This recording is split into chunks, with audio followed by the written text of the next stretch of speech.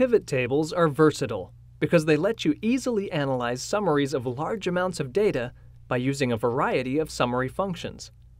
Excel 2013 makes creating a new pivot table a snap with its new Quick Analysis tool.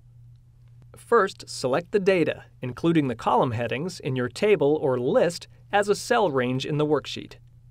Click the Quick Analysis tool in the lower right corner of the current cell selection. The palette of options opens.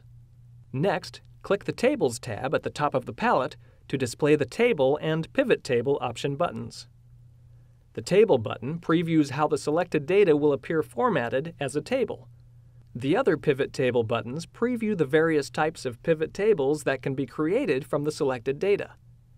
Hover your pointer over any Pivot Table button, and Excel's Live Preview feature displays a thumbnail preview. When you find the pivot table you want, click its button.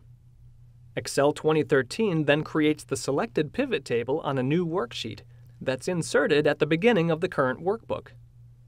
From here, you can rename and relocate the sheet, as well as edit the new pivot table. Another way to generate a new pivot table is with the new Recommended Pivot Tables command button. To use this method, select a cell in the data list. On the ribbon's Insert tab, click Recommended Pivot Tables. Excel displays a Recommended Pivot Tables dialog box.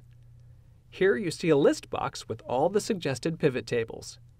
Simply select the sample you want to create and then click OK. Excel creates the new table and inserts it in front of the others in your workbook.